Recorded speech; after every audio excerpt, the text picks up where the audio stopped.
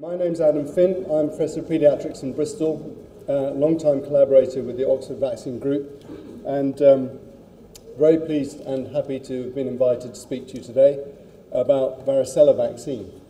Um, and my title was When Will Varicella Vaccination Be Part of the UK Immunisation Schedule? To which there is a one word answer, and that one word is not never. but I will give you the one word answer in my last slide at the end of the talk. Um, I, I, made a comment earlier about social media. Adam H. Finn's my Twitter handle. It's taken me a while, um, but I now have over a thousand followers and I just tweet about vaccines. I do encourage all of you to consider doing this. It might seem to you that it isn't important or that you don't really like social media or that they're a bad thing, but if you all did this, all followed some of the uh, useful sources and retweeted to your peers and friends about vaccines, you can have an influence on what people think. Um, and if you are a Twitter person, then please follow me on Adam H. Finn. So I'd just like to start with this, uh, these three questions, which we'll actually end up with at the end of the talk as well. Um, and I'm going to try and answer the questions through the course of the talk with information. The first question is, is it true or false? Deaths and severe cases of varicella generally occur in people with underlying risk factors. I'll give you the evidence on that, but I'll tell you right now that the answer to that is no. We don't see that many deaths from varicella. We see a lot of complications from varicella, not many deaths. But the bad cases, including complications and deaths, are most commonly in people who are completely well. The use of varicella vaccine at low levels of coverage might increase problems, not reduce them, that's true. And I'll explain to you why. Giving varicella vaccine is a good idea, but it's a very bad idea to give it to only a minority of people. And you saw, quite interestingly, just now, the number of people making inquiries to the OVG website about varicella vaccine. There are quite a lot of people coming to our clinic in Bristol, mostly paediatricians at this point, who've seen complications of varicella, having their children immunised. I don't think we've got to the point where it's dangerous in the UK yet, but we could get there, and we've certainly seen that in Spain, where they had so many people buying the vaccine for their children that they temporarily tried to ban it in order to avoid this problem, which I'll explain to you in a minute. They then gave that up and introduced the vaccine instead as being a better solution to the problem. Finally, universal high coverage use of varicella vaccine would make rates of zoster or shingles go up. So that's a, a question. And that question, interestingly, the question mark is getting smaller.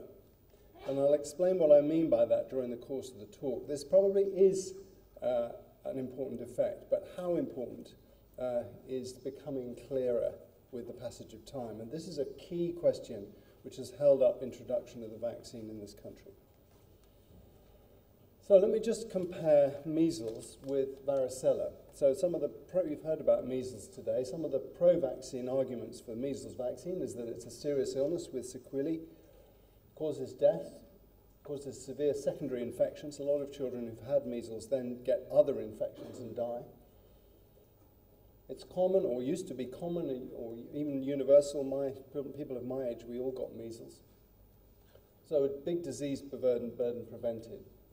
The anti-vax arguments uh, against measles include that it's uh, notionally a mild illness, there are a few deaths, it's a kind of rite de passage of childhood, that infection in some weird way strengthens your immunity, which it really does not do. Um, measles infection does the exact opposite. But these kind of arguments get paraded around.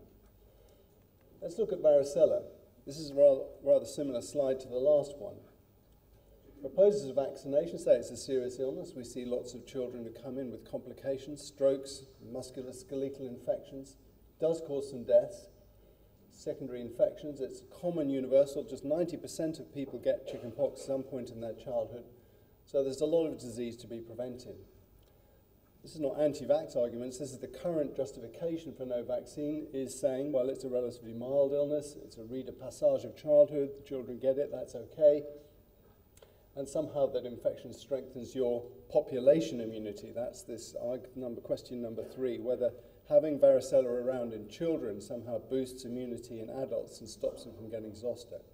So there's a kind of weird echo there, but pointing in opposite directions. We're all saying we should be immunizing everybody against measles, but somehow we're not saying that we should be immunizing everyone against chickenpox. Is it a mild illness? Well, a friend of mine who's an ophthalmologist talked to me recently. He's a, a, a, senior academic like me, but doesn't know about vaccines, and said he was completely shocked to discover that there was a vaccine against varicella. His teenage daughter, this is not a picture of his daughter, but it's similar, had recently had this illness. She'd been really ill. She'd been covered in these spots and she'd been left with scars all over her face. She was absolutely devastated by this. It's not trivial. He'd said if he'd only known that he could have given her a vaccine and prevented this misery, he for sure would have immunized her. So even people who make good recoveries from varicella don't regard it necessarily as a trivial illness. This is a child I saw a few years ago. He had leukemia and had been sent from a, uh, another country in Europe to Paris for a bone marrow transplant in an advanced state. And on the train to Paris, he was exposed to varicella. He cropped the uh, virus for a period of weeks and then months. The, the infection went on and on and on. You can see the rash developing, old scarred spots, new spots coming up. He had viremia repeatedly over a period of weeks. Eventually, he went into hepatic failure and died. Varicella is not a trivial illness if you've got an immunocompromised patient. Uh, it's a really bad illness. The other situation where varicella causes a lot of headaches is in pregnancy, both at the beginning and as shown here at the end of pregnancy. If you get varicella in pregnancy, you can end up with a seriously injured child or a child with an overwhelming illness not dissimilar to the one I just showed you in the leukemic boy. At the moment, we're in the throes of a real panic because of lack of supplies of VZIG, which is the passive antibody preparation that we offer to pregnant women when exposed against varicella, and the lack of supply. We wouldn't have that problem if there was no varicella around because pregnant women wouldn't be being exposed to it. It's a real headache. John Enders in the 1950s and subsequently got his Nobel Prize for working out how to culture viruses in cells. And that discovery led to an absolute avalanche of new vaccines because people could propagate viruses serially in cells. And by doing that over and over again, you can end up with a virus which is still infectious but doesn't cause serious illness. Essentially, you end up with an attenuated vaccine. And this led to the development of the measles, rubella, and mumps vaccines in the course of a few years in the 1960s. My former mentor, Stan Plotkin, invented the rubella vaccine using exactly that technique working in Philadelphia, having done the foundation of the work in London at Great Ormond Street. Varicella vaccine was invented by a Japanese uh, doctor, Takahashi. He took a strain from a girl called Oka, who had varicella, and managed to uh, find a way to passage difficult virus to grow, but he managed to passage it in guinea pig cells as well as human cells. And we now know that the virus that he produced has a set of uh, mutations in it, some of which are critical for its uh, attenuation. So it makes it a weak virus that can infect you but doesn't make you sick or gives you very, very mild varicella, somewhat like uh, what we see with the measles vaccine. And that was done in the 1970s, about 1974. So we've had this vaccine against varicella for a very long time. It's now available either on its own as a single vaccine or combined with the measles, mumps, rubella, so you end up with an MMRV rather than an MMR. And like MMR, um, two-dose course, at least three months apart, gives you very reliable protection. I'll show you some data on that just now. It's a live virus vaccine, so you might be concerned about giving it to people with uh, immunocompromised, but actually experience has shown that uh, unless you're really very immunocompromised, this is not a problem. We, we, for many years now, have been giving it to children with HIV, for example. Children with leukemia uh, were widely studied in the 1990s in the States. As long as they're in remission, they're fine. And this virus, in fact, is sensitive to acyclovir, so you've actually got an escape hatch. If you do, do give the vaccine and it starts to make the patient sick, you simply treat them with acyclovir and then they're okay. Uh, there are two companies producing uh, vaccines that are licensed here in the UK and across Europe, uh, and that's Merck and uh, GSK. They both make single and combined vaccines, um, and those are the names of the vaccines.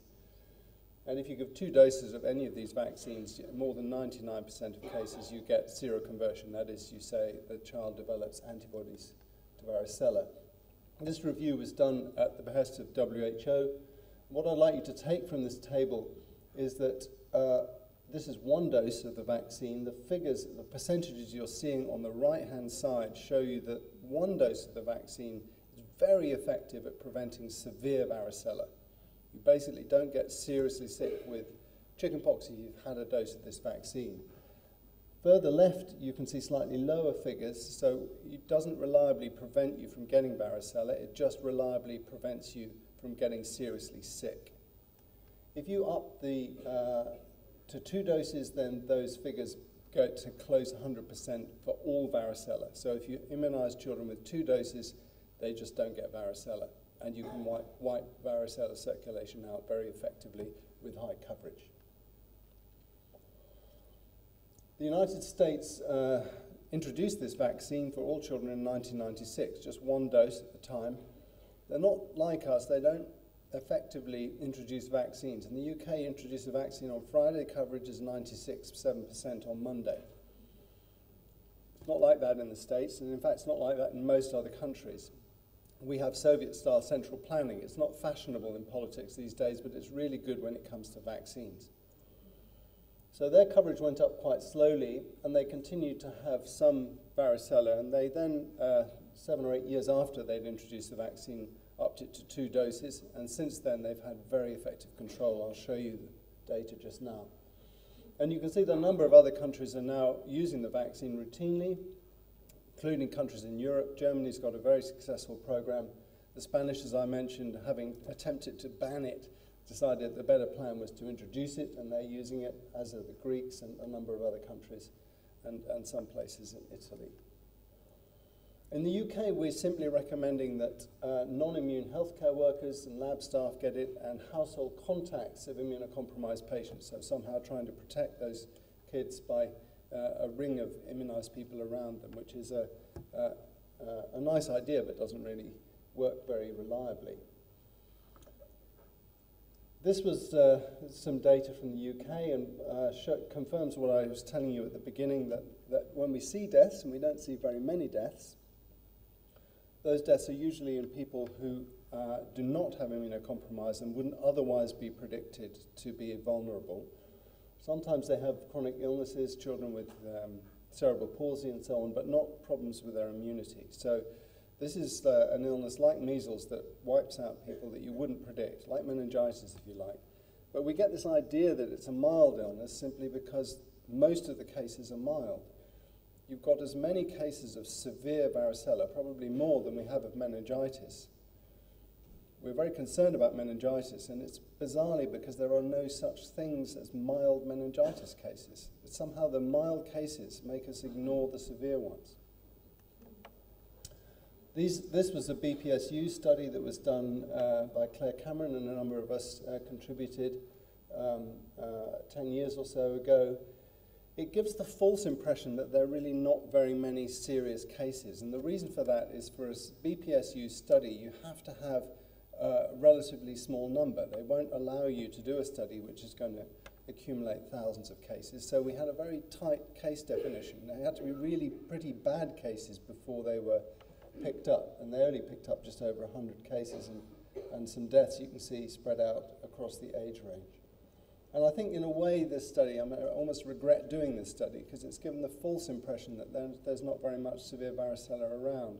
Because we didn't count all those kids that had come in with cellulitis and bone infections. They just didn't fall into the definition. Here's what happened if you introduce the vaccine. This is United States data. You're seeing the number of cases in four US states in thousands. Basically, it goes down, it goes away.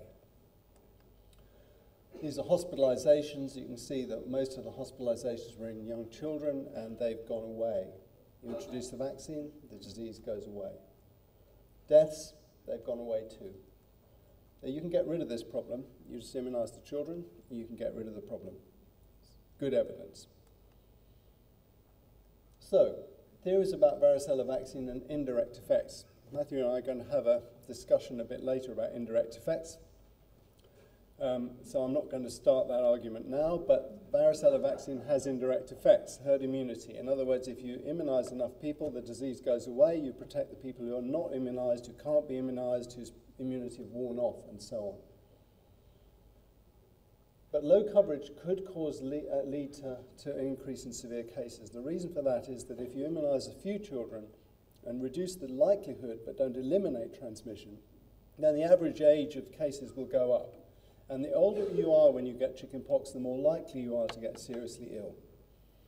Adults who get chickenpox really quite commonly get really ill. They get pneumonitis and some of them die. So you really don't want to reduce young varicella cases in order to increase the number of older varicella cases. You've got to give enough vaccine to get rid of circulation altogether. The second theory is the one that high coverage could increase zoster. I'll come back to that in a minute. These are data from North Carolina, um, which I won't go through in great detail, but what I want you to uh, take from this is that there were reductions in age groups of children who had not been immunized once the coverage of varicella vaccine one dose reached about 50%. So once you get up to about half the children being immunized, you really start to have an impact on transmission within the general population. It's a much less infectious disease than measles. Measles, you, as, as Joanna was saying earlier, you really need up in the high 90s to get sustained protection. For varicella vaccine, it's much lower than that.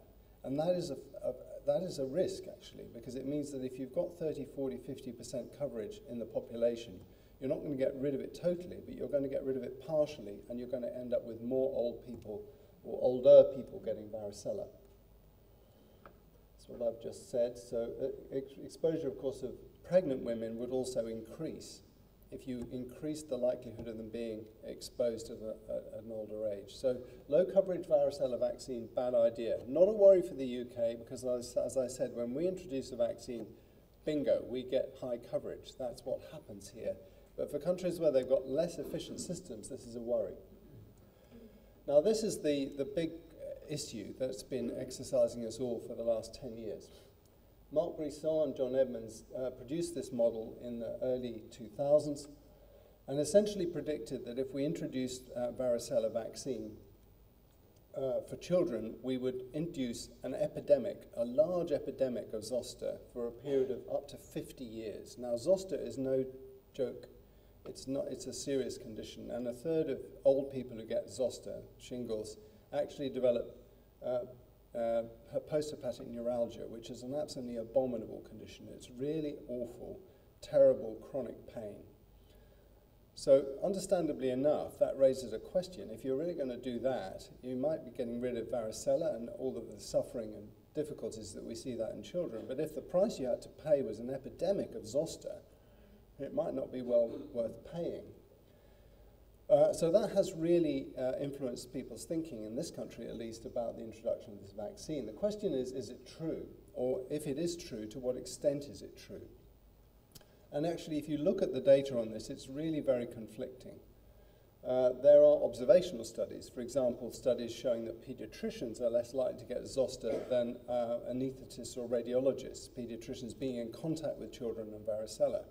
Conversely, there are studies that show that French monks and nuns who don't have much contact with children at all don't get zoster any more than people who are not monks and nuns. So you can, you can argue it both ways.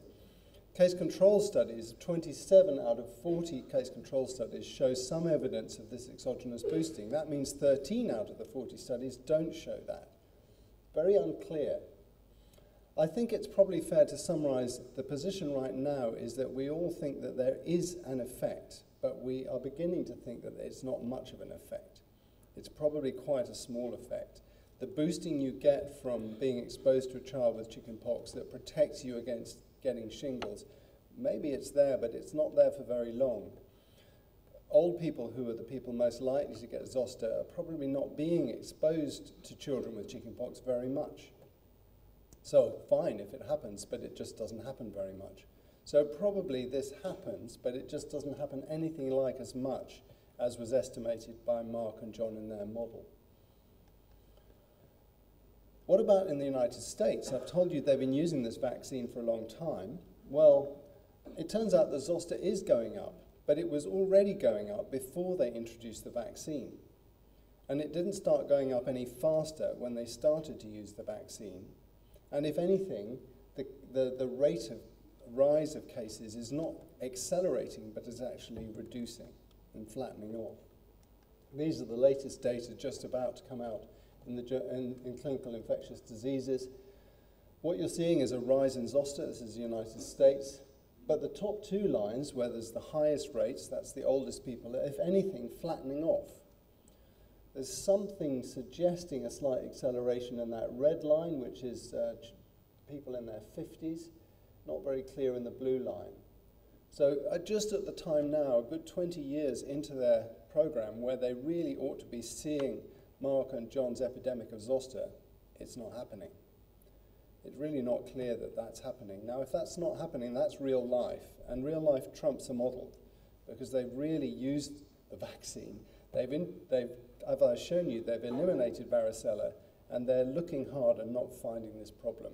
So in the end, we're going to have to believe this sooner or later because uh, this is real life. The other thing that I think Andy mentioned earlier is that uh, GSK have just produced a new zoster vaccine which really, really works. And in fact, the Americans immediately introduced it and have sort of bagged the world's supply for the next three years. But we're quite keen to use it in this country too. This vaccine is very interesting because it works really well in old people, uh, as far as we can tell so far. Uh, so, in a sense, even if there were this problem with zoster, with varicella vaccine, we've already got a solution to it because we can immunize older people and stop them from getting zoster. So it's a theoretical problem to which we already have a solution. So uh, I'm going to wind up there. Uh, deaths and severe cases of varicella generally occur in people with underlying risk factors. That's false. They generally occur in people who are otherwise completely well. If we want to stop deaths in serious cases of varicella, the only way we can do it is by preventing it with immunization. We can't, universal immunization, we can't target the people who are going to get sick. Use of varicella vaccine at low levels of coverage might increase problems, not reduce them. That's absolutely true. If we introduce this vaccine, it needs to be at high coverage, no question. Uh, but we can do that. We know how to do that in this country. Universal high coverage use of varicella vaccine would make rates of zoster and shingles go up. Well, possibly, but I think only a bit and possibly not at all, given what we're seeing in the States. I, I, and I guess that brings us to the final slide, which is the question of, um, it's not quite the final slide, but the question of, of when will we introduce the vaccine. We've got to work out a balance here the burden of varicella, which is mostly in children, which we as pediatricians see a lot and we're very impressed by, versus the transient theoretical increased burden of zoster, mostly in adults and the elderly. At the moment, that's the way the balance is swinging. The children are, are, getting the varicella, and we're kind of putting up with that because there's real concern about that. Maybe the balance is going to swing because maybe that concern on the right is going to turn out to be either much smaller or even non existent. The other thing that we're doing uh, across the country now is really looking properly at the burden of varicella in children. So we're doing, we started in Bristol and other sites, including Oxford, will be really looking into these cases that come into hospital and measuring the impact on the quality of life of those children and their families so that we can get a real handle on what the disease burden is to prevent. We don't have adequate data on that but that's in hand. Sins of commission, sins of omission. It feels like if you do something, that's more important than if you don't do something. And we in vaccinology are used to that. People are a bit doubtful about whether to immunize their children, and so they just don't do it because it feels like if they do it, that would be a bad thing. And somehow not doing it doesn't feel like a bad thing, even though that's back to front. But this is a bit like that on a whole population scale. So let me give you an idea. Let's, let's have the idea that we've got a virus that we've got in the lab and we can take it out and give it to the kids. And it would kill some of them, and quite a few of them would end up in hospital, and a lot of them would end up sick. But the great thing is that a lot of old people would not get sick as a result. How many is going to vote for that? Don't think it's going to get through the regulators. That's a sin of commission, right? What we're doing is a sin of omission. We've got a tool that would enable us to get rid of that virus that is killing those children and making them sick. And, uh, and we're just not doing it. And we feel okay with that. But it's actually the same thing, isn't it? So I think we should be thinking quite carefully about the ethics of this. We're quite happy to give the nasal flu vaccine that Richard was telling you about. the cost benefit of that is contingent on the fact that it prevents illness in the elderly. We're okay when it comes to immunizing kids to protect the elderly, but we are a bit hesitant to immunize children if we've got a theoretical idea that it might somehow be harmful to the elderly. As a pediatrician, I'm not very comfortable with that. This vaccine, uh, this virus has been prevent preventable for 30 years now, so when will we start to prevent it? Well, the answer, one word answer is soon. And uh, uh, I think if I retire without this vaccine coming introduced, I will retire a sad doctor. I think it's time we, it's time we got on with this. So there's, I rest my case. Thank you very much.